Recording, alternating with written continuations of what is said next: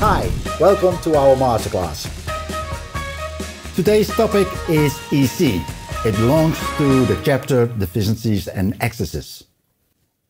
Actually, if you give the right nutrient blend and the right type of nutrients with the right dose, you cannot get any kind of overfeeding or underfeeding.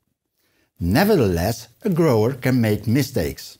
And by these mistakes, the plant will show you some deficiencies or excesses. A nutrient blend is a mixture of all different kinds of elements. These elements should stay in a certain balance. Besides these elements, a nutrient con a solution contains more. For example, pH regulators and trace elements. By giving a lower EC, which is a lower dose of nutrient elements, you always bring in less of these elements too. In vegetative phase, the plant needs less nutrients, so that means a grower starts to give less.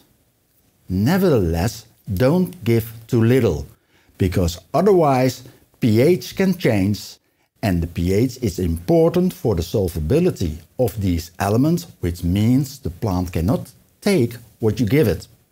Dosing the nutrients we can control by measuring the EC level, because actually we measure the concentrations of the nutrient salts. We do it by an EC meter, and on the growth schedule it's mentioned as EC+. but also tap water contains some EC. And together it makes the EC total, which is the total amount of nutrients you give to the plants. If the quality of the water already contains a high EC, growers often to put less nutrients in the solution. But that also means less pH regulators and less trace elements, which result in a deficiency of the elements.